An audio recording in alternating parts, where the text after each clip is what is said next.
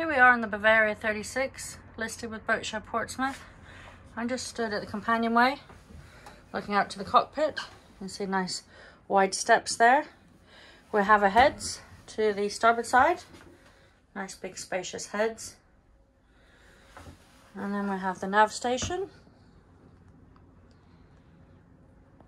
And so spinning around, we have the galley on the port side. Nice, really big aft cabin.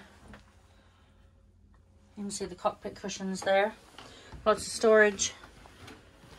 So spinning around, we've got the saloon. You can see I've got one berth made up here uh, where you lift the back up and it makes it uh, slightly wider, which is nice. That obviously happens on both sides. You can see this boat's in really, really nice condition. So just walking you through to the forward cabin. Again, nice and big, little bits of seating there, storage, all good headlinings and upholstery. Doesn't seem to be a blemish on the wood, which is nice. Storage again behind there.